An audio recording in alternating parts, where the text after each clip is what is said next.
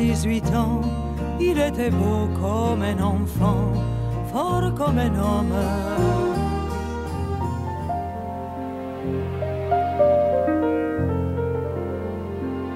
Il faut commencer par Lucien Maurice, que ça a été l'homme qu'elle a le plus aimé. Ils, se sont, ils, ils ont partagé leur vie pendant cinq ans et au moment qu'ils se sont mariés, cinq ans après, l'amour malheureusement était parti. Lucien Maurice, elle disait toujours c'est mon père, c'est mon amant, c'est tout. Il a été tout pour elle, Lucien Maurice. Donc, elle a même regretté plus tard, elle a dit quand on est jeune, des fois on fait des bêtises, on aurait pu vieillir ensemble. Le deuxième, c'est à cause de lui qu'elle a quitté Lucien. C'était le beau et le jeune Jean Sobieski qui lui a porté une fantaisie parce que Dalida, pendant cinq ans, elle a pensé qu'à son travail, à travailler, à travailler. Elle n'a pas pensé du tout, mais elle était jeune encore. Alors, quand elle a rencontré la passion, elle a voulu la vivre et ça a été Jean Sobieski. Et c'est pour ça qu'elle a quitté, quelques mois après qu'elle s'était mariée, Lucien Maurice. Après, ça a été Luigi Tenco, le chanteur italien.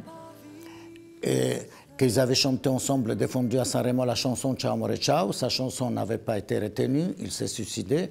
Dalida, par amour et désespoir, a voulu le rejoindre. Et depuis, en Italie, ils sont devenus le Roméo et Juliette du XXe siècle. Leur amour s'est arrêté en pleine passion.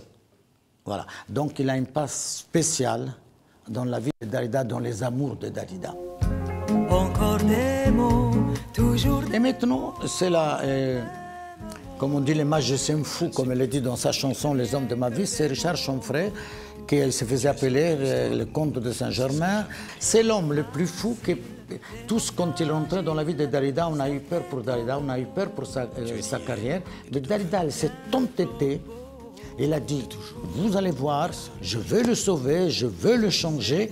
Et c'est l'homme qui a duré le plus dans sa vie, car quand même presque 9 ans, ils sont restés ensemble. Et c'est là qu'elle a fait dans sa carrière le plus grand de choses, parce qu'elle avait la casquette pour deux. Elle voulait montrer qu'il n'était pas un danger pour sa carrière tout ça. Malheureusement, elle a été heureuse comme femme, il faut le dire. Malheureusement, il était tellement fou et tellement imprévisible qu'au bout d'un moment, elle a dû, la, la raison l'a emporté, elle a dû se séparer.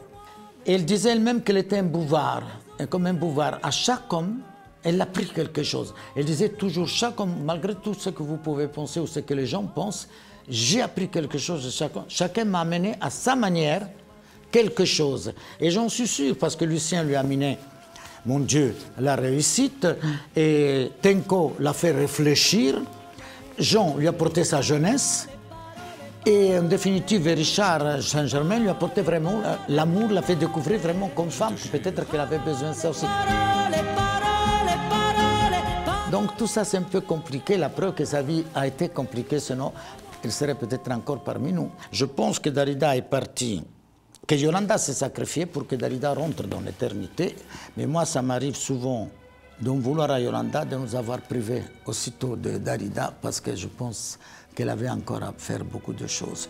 Mais les nouvelles générations sont en train de faire, d'écrire la légende, voilà.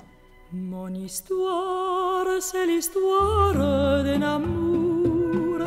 Ma complainte, c'est la plainte de cœurs.